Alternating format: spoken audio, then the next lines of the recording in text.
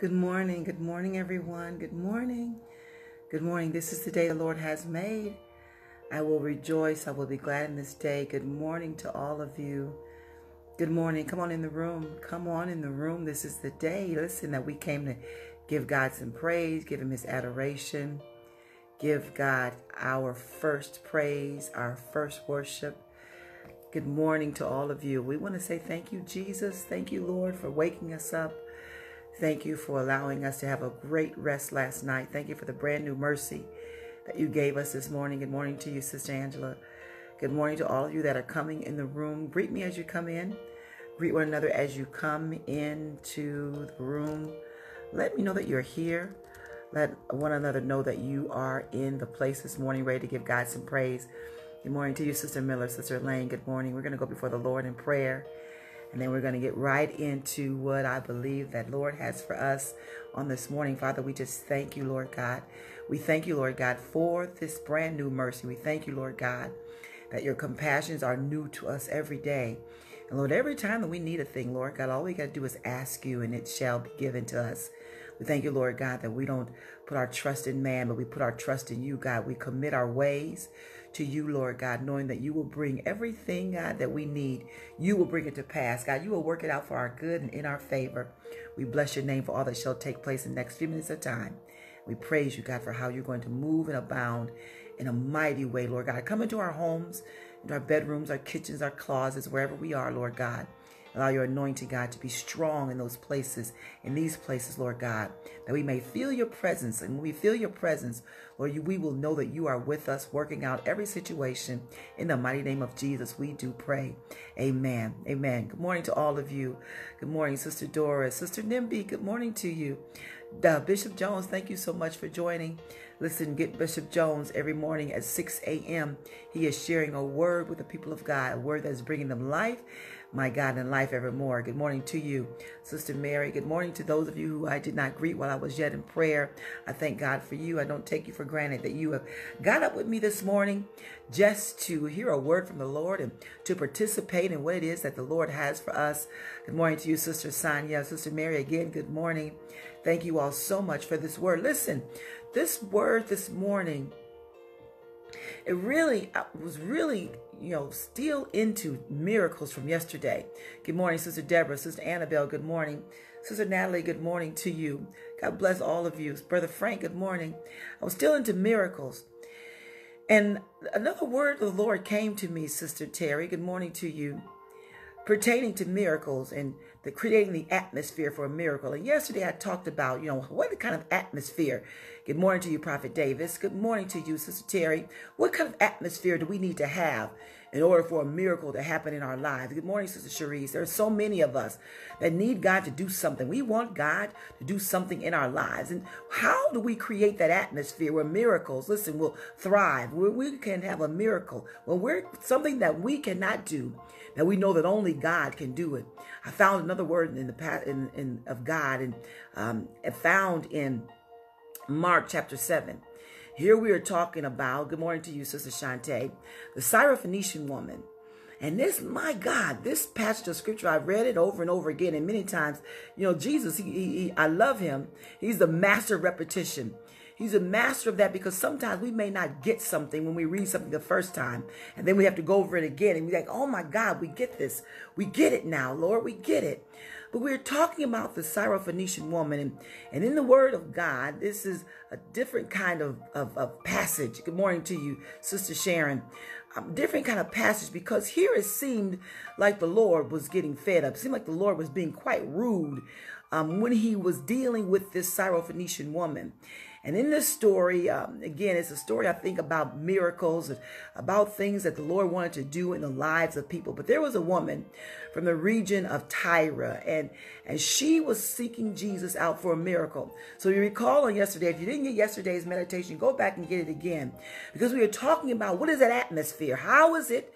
That a miracle can happen in your life. First of all, you need the presence of the Lord. You need Jesus to be in the place. You need to invite him to the party. He needs to come.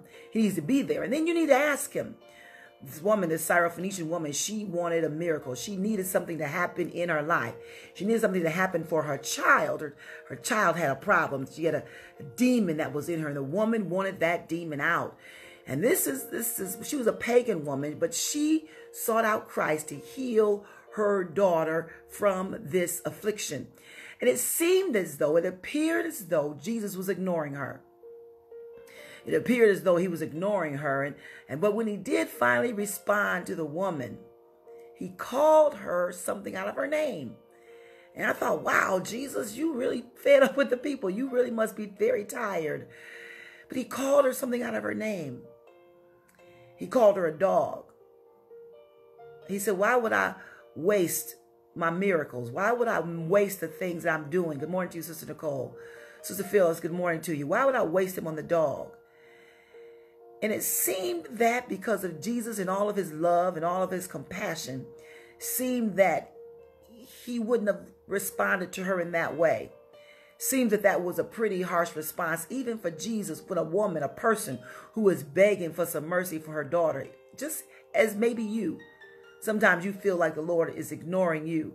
And I'm talking about creating an atmosphere. Now I'm talking about creating an atmosphere in yourself where miracles and signs and wonders can be wrought in your space before your very eyes. But Jesus, he responded to the woman in a different kind of way that we would have expected. Let me read it. It goes in, Mark chapter 7, start with verse number 24. It just says, Jesus had left that place and went to the vicinity of Tyre. And he entered the house and did not want anyone to know it. Yet he could not keep his presence secret. You know, everywhere Jesus goes, somebody's going to tell it. Why? because of all the great and wonderful things that the Lord has done. In fact, the Bible says as soon as she heard about him, as soon as this woman, this Syrophoenician woman, heard about him, a woman whose little daughter was possessed by impure spirits, she came and she fell at his feet. And the woman here was a Greek, born in Syrian Phoenicia, and she begged Jesus to get the demon out of her daughter. She begged him to get the demon out of her daughter. And oftentimes, listen, we may have asked Jesus for something. We may have asked for a thing. And maybe it seemed like he was ignoring us. Maybe, you know, and we may have gone away. We may have said, you know what, uh, he's not hearing me. He's not going to do this thing that I want him to do. But the word of the Lord here says that she begged him. She, she didn't give up. She begged him. And then the Lord said, first let the children eat all they want. He told her, for it is not right to take the children's bread and toss it to the dogs. But this did not discourage the Syrophoenician woman. Why was that? Because she needed a miracle. She needed something to happen in her life. And many times we are discouraged. We're discouraged by the things that happen around us. We're discouraged by what somebody says to us. We're discouraged by what somebody does, even though we need a miracle. How desperate are you for God to work something out in your life? How desperate are you for God to do something great and powerful in your life? How desperate are you for God to turn something around in your situation that's going to bring you victory and not bring you distress and turmoil? How desperate are you? This woman here was desperate because the woman, listen, she was so desperate, she had a response for Jesus. Her response was this She says, Even the dogs under the table get to eat the children's crumbs. Listen, she said, listen, I understand what you're saying, Jesus, and I understand that, you know, you have no dealings with the Greek. I understand that, and I understand that the Jews are the ones that maybe you're catering to. I understand all of that. She says, but I'm willing to take the scraps because I know even the scraps that you can give me are powerful enough to heal my daughter of this demonic impurity of this demonic spirit that is plaguing her. And then he told her, I love suddenly blessings. And then he told her, for such a reply, you may go because the demon has left your daughter. And out of obedience, she went. She left where the Lord says she went home and she found her child lying on the bed. And a demon had left. Look at this passage of scripture. Look at this. Something that I can chew on, that I can meditate on. Because even if I didn't think that the Lord heard me, Even if I didn't think that, if I didn't feel that I was worthy to receive what it is that I was asking the Lord for. This Syrophoenician woman is saying to me, is, is showing me that my persistence will get me what it is that, that God wants me to have. Listen, his will is what will be done in my life. His will is not for us to be sick. It's not for us to be demon possessed. His will, that's not our, that's not his will. It's not for us to be addicted. His will is not for us to be oppressed. His will is not for us to be bound and downtrodden. That's not his will for our lives. His will for us is that we be free and live and walk in the liberty that he has been called to. That's his will. But even if we find, as we find in this passage of scripture, that the woman here, she needed a miracle. Come on, I raise my hand. I need a miracle. Many of us, again, we need a miracle. And for the Lord, listen, to call the woman a dog, it feels like it was a very harsh, again, I said, a harsh response that the Lord was given to this woman in her time of crisis, in her time of need. But I'm telling you, this woman, she was not about to give up. She wasn't about to give up on what it was that she was seeking from the Lord. She was not about to give up on her child. And many of us, listen, there's a need that we are not about to give up on. We're not about to give up on the things that we know that God has for us. We are not about to give up on our children. We're not going to give up on our spouses. We're not going to give up on, listen, where there is a situation, perhaps we may be lacking in finances. We're not going to give up. We're not going to give up. Why? Because we know the King of Kings. We know the Lord of Lords. And just like this woman, she heard that Jesus was coming. And why was that important to her? Because she knew all the miracles that he had already done. Prior to coming to the city that she was in, all the miracles that he had done, he had wrought in the lives of the people. She wanted her child to be healed. And even even before this passage of scripture, there was a um, the Lord was being actually he was um, having a discourse with some for those who were not washing their hands before um, they were eating. And he was saying to them, listen, it's not what goes into your mouth that defiles you, it's what comes out of your mouth. And he was giving this discourse. And he was he was telling the people that they're you know, what happens on the outside of you, it doesn't matter. But what goes on, what what comes out of you, the things that comes out of you that are what defiles you. What are your responses? When people say a thing to you, what are your responses when people say something against you? What are your what are your responses? What would your response have been in this case when someone had called you out of your name? When you were just trying to get blessed, when you were trying to, my God, receive your miracle, receive what God had for you, what would have been your response? Certainly, no, you wouldn't have talked profanity to the Lord, but what would your response have been? Would you have gone away discouraged and frustrated and confused? What would your response, what is your response when perhaps you feel that the Lord is not doing what it is that you want him to do? What is your response?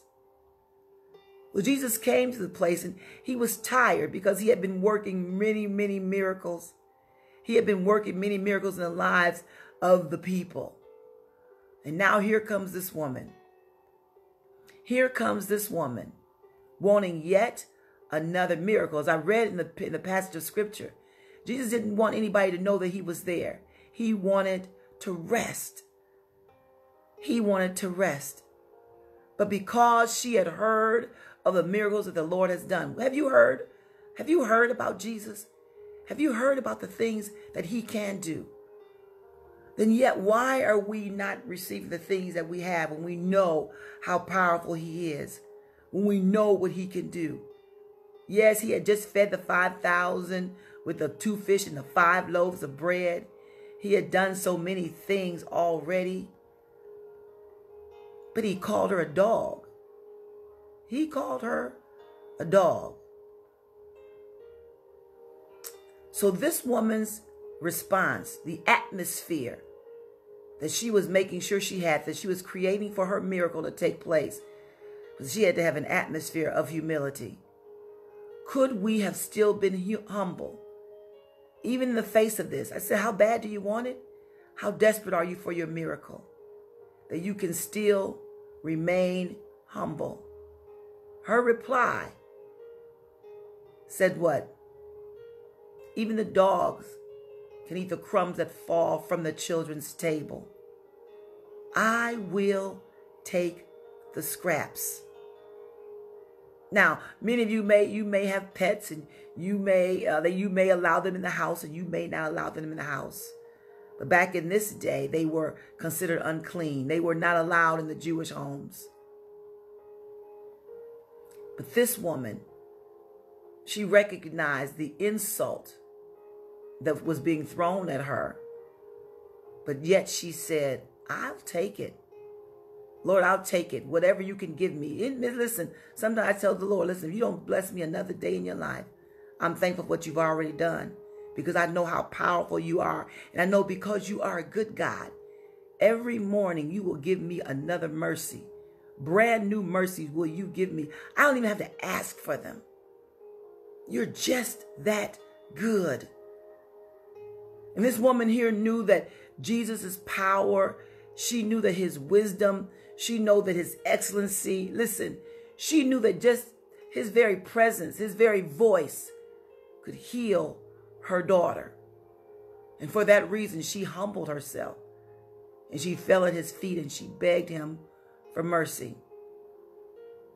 Humility is what is needed in our atmosphere so that miracles and signs and wonders can happen. No, we haven't arrived. We can't do it of our own. The Bible says that pride comes before the downfall, but humility is what allowed the Syrophoenician woman to receive the miracle that she was seeking from the Lord. She needed a miracle from God. So not only was she humble, she also had to know that by faith the Lord was going to do what she asked him to do. Because in her response to him, she was saying to him, Listen, I understand what you're saying. But because you have healed before, by faith, I believe you can heal my daughter. And that's why I'm not going away. That's why I'm being persistent. Many times, listen, we know that we need a thing. And because it's the will of God, the Lord says to us, listen, you can ask me. And when you ask me according to my will, I will hear you and I will grant you that petition that you have set before me. So maybe it won't happen in a minute. Maybe it won't happen in an hour. Maybe it won't happen in a day. Maybe it won't happen in a year. But if you continue to believe by faith that the Lord's going to do it, He will do it. What is faith? The Bible says faith is the substance of things hoped for and the evidence of things that are not seen, hoped for. The thing that I know that God is going to do, He's going to work it out. He's going to do that, do that thing that I need Him to do. And when he does it, it's going to be done, I mean, completely. I'm not going to have to worry about it. I'm not going to have to fear about it. So she knew, the woman knew the custom. She knew that Jews were not allowed to associate themselves with Gentiles. She knew that. And she knew that it would make, you know, the him unclean. She knew that. But that's why she went to meet Jesus when he was alone. And let me say this with you also, to you also. Sometimes we don't get in our own quiet time Sometimes we don't meditate on the word of God. We don't get to a place where we can actually just talk to Jesus and we can share with him. Look, you know, tell him all about your troubles. He'll hear your faintest cry. He'll answer by and by. We've got to have a talk with Jesus all by ourselves. Does he know everything? Yes. He's omniscient. Is he everywhere? Yes. He's omnipresent. He's all powerful. Yes, he is. But he just wants you to articulate what is going on in your life. Ask him for a thing. But you got to get off to yourself. Sometimes you just got to meditate on the word of God. Meditate on God. Ask him. Let him know what's going on in your life. Let him know your needs. Let him know, listen, what you're desperate for. It may be a gift that you're desperate for. It may be something listen, that's going on in your life that you've not told anybody and you're afraid or ashamed to tell him because you don't think he's going to do it. But she came to meet Jesus when he was alone. And when he said to her, Listen, why would I take the children's bread and give it to the dogs? Sometimes, listen, things happen to, to let the Lord see just how serious we are about a thing, to test our faith. Do you really believe that the Lord can heal? Do you really believe that He can set you free? Do you really believe that He can work the miracle that you need for Him to work? Or will you just go away? Will you go away saddened, head held down? Mm-mm. Because the Lord said, listen, because of your faith, because you didn't go away, because you weren't angry, because you didn't cause others to stumble, because I said that to you. Because sometimes we can cause others to stumble because of our response. Because something didn't happen for us to, you know, right now, quick in a New York minute. We may cause somebody else to stumble because we're saying to them, it won't happen. And just because it doesn't happen for you just right now, doesn't mean that the Lord won't work that situation out for somebody else right now. So be very mindful and very careful. Listen, when you lose faith, that you don't cause others to stumble as well. The Lord here is saying, because of your faith, your daughter will be made whole. Without faith, the Bible says it is impossible for us to please God.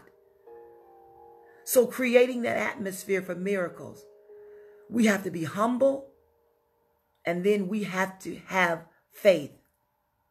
Only the faith, listen, God responds to faith, He responds to humility, and then He responds to our persistence.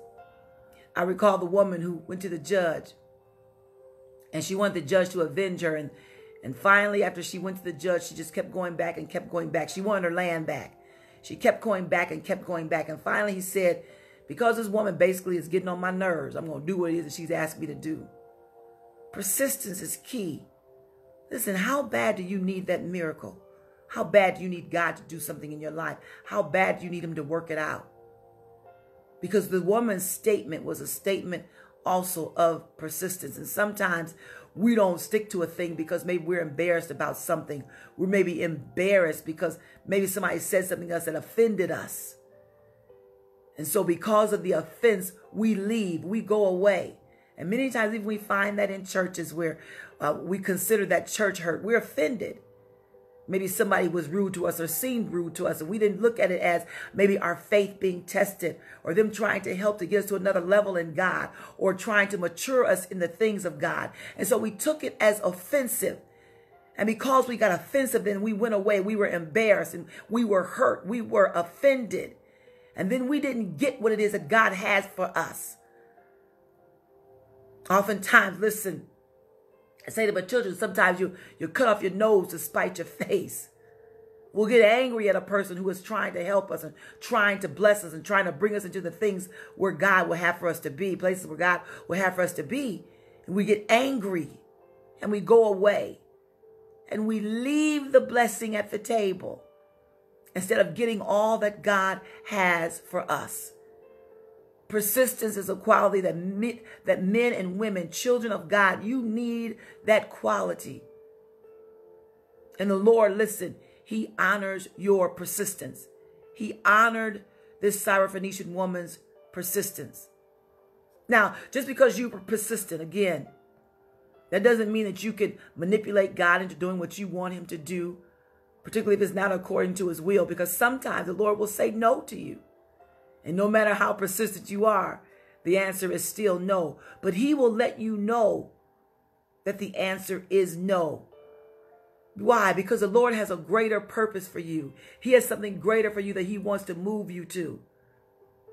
But when the Lord says yes, you know that the answer is yes and that he will do exactly what it is that you've asked for him to do. So not only do you need to be humble, not only do you need to have faith, but you also need to be persistent in your prayer in order that miracles can abound and thrive in your atmosphere. You can't lose heart when there is a delay. But the Bible says you pray without ceasing because it is their persistence that will release the answers that God has for you. Continuing in prayer, continuing in communication with the Lord day and night, night and day.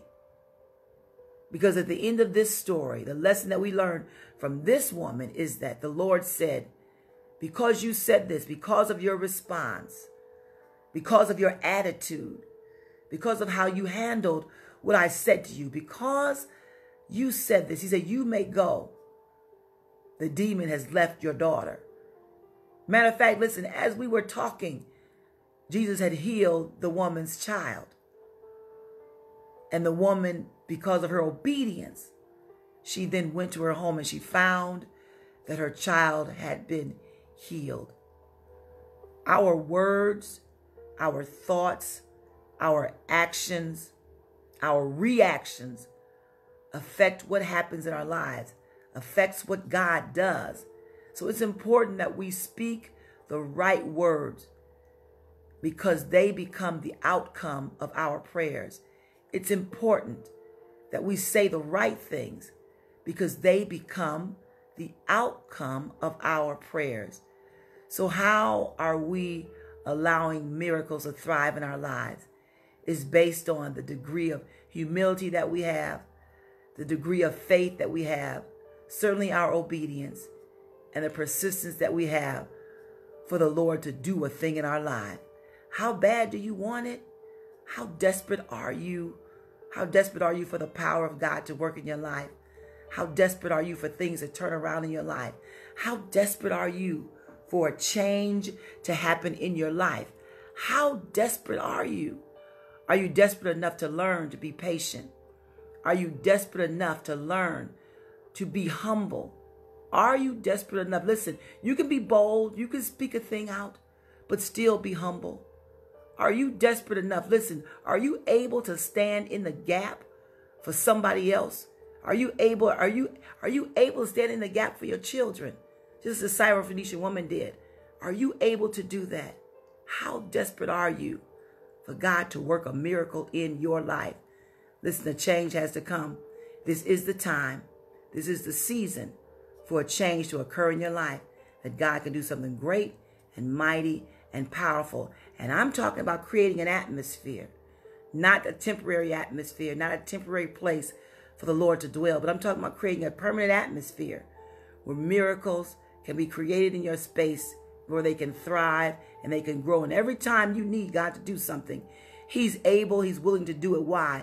Because you create an atmosphere for miracles. Father God, I just bless your name and I thank you, Lord God, that even as a Syrophoenician woman, Lord God, she boldly came to you, Lord God.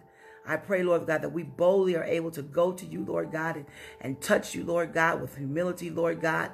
Touch you, Lord God, with, with uh, uh, the faith, God, that we need to, Lord, not be offended by things that are said to us, Lord God, but recognizing, Lord, that you love us, that you care for us, Lord God, and Lord, that as we are waiting for the things that, that we have asked you for, that we will patiently wait and not only will we patiently wait, God, that God, we will seek you, Lord God, seek a relationship with you, an understanding with you, Lord God, to know, Lord God, that even though, God, it may not happen today, it may not happen tomorrow, God, or the next week. God, we wait patiently on you, God, to work the miracles out in our lives that, God, only you can do. And because only you can do it, Lord God, I know that when you work that miracle, it will be done. It will be done completely. Lord God, I thank you for how you've healed, God, delivered, God, and, and even for this word, Lord God, that will help us, God, to be persistent in the things of you. Lord, we love you so much, oh God, and we thank you for loving us so much that you sent Jesus, God, to die on the cross that we might be free, God, through even through my sins. Lord God, I have the ability, Lord God, to be healed and delivered, oh Lord God, to be forgiven of everything, oh Lord God, that I still can create an atmosphere where miracles and signs and wonders, God, can be worked through me, Lord God. I thank thank you, Lord God, for all that you have done. And Lord God, I thank you, God, for making me worthy, oh God. Ah, God, not of myself, God, but because of how good you are. Lord God, I am, God, I'm not less than, Lord God, but Lord, I am above only. I am not beneath. I thank you, Lord God, that even though in this passage of scripture, Lord God, you, you call the woman a dog, Lord God, I thank you, Lord God, that even God dogs can eat the scraps. So I take the scraps, Lord God. I take everything, Lord God, that you will do, Lord God, to God prove yourself mighty and strong in my life. We love you, Lord Jesus, and we bless your name, Lord God, for this word, God, of miracles, God, of signs, God, of workings, God, of the manifestation of your glory and your power in your life, oh Lord God. And I will not give up, Lord God. I will not be offended. I will not take down, Lord God. I, God, will seek, God, everything that you have for me. Because everything you have for me, Lord God, is good and it is very good, Lord God. And we appreciate you, God. Appreciate your work. We appreciate your love. In the name of Jesus, we pray. Amen. Amen. Amen. Bless you, people of God. Listen, share this word with someone because even though they know that the Lord can work a miracle, somebody wouldn't go to him because they didn't feel that they were worthy. They felt that something was keeping them from going to the Lord. And they were have been offended by things and because they've been offended, they left their miracle at the table. They left their blessing back where Jesus was, where the offense happened. Make sure you let them know that their blessing is still there. That the blessing had their name on it. It's their blessing, it's their miracle. And they are in line for that miracle, but they got to create that atmosphere where miracles can thrive. Let them know that there should be no offense in them. My God. We got to remove all, I know I got to go. We got to remove all offense. Sometimes we're offended by things that we shouldn't be offended by. Let us understand that the Lord is working something out in you. And, and whatever happens, listen, it will work according to your good if you believe the Lord. If you believe the word of God, it will work out according to your good.